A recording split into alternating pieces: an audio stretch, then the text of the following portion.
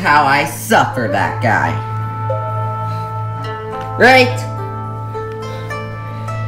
Um, yeah, right. Um, You ever suffered that guy? Of course! That's why I'm grown up. I'm sure you are, Junior. You are grown up. Now, what's this plot here? Uh, I don't know.